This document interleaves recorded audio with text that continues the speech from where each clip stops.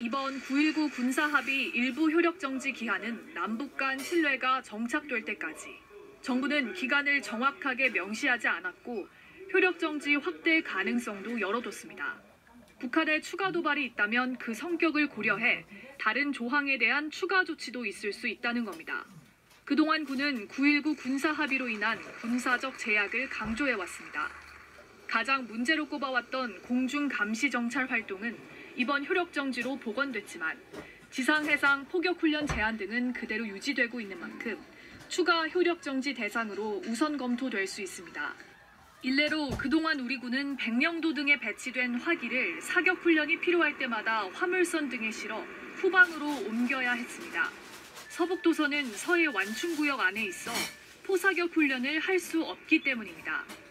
우리를 공격하는 북한은 훈련이나 아무런 지장이 없고 네. 우리 섬에 있는 우리 해병대만 손발이 묶인 거예요. 저대로 하면 해병대는 평소 그 지역에서 음. 소총 사격밖에 못합니다. 다만 군이 일부 효력 정지를 선언하면서 북한 도발과 적대 행위가 더 노골화될 수 있다는 우려도 나옵니다.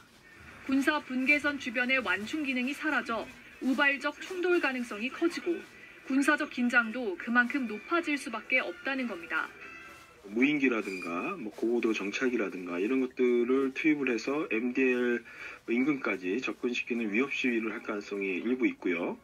이에 대해 군은 그동안 북한이 의도적 반복적으로 합의를 위반해 왔다며 강화된 군사 대비 태세를 통해 도발에 즉각 대응하겠다고 밝혔습니다.